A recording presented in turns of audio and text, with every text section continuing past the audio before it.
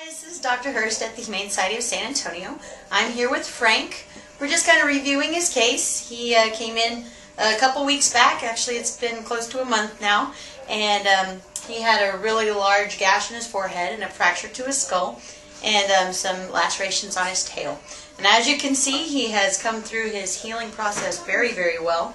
Um, we've removed the stitches and the staples from his skin and he looks like he's going to heal with barely a scar.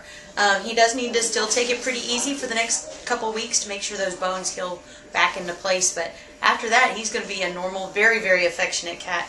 As you can see, he, uh, he likes his uh, attention.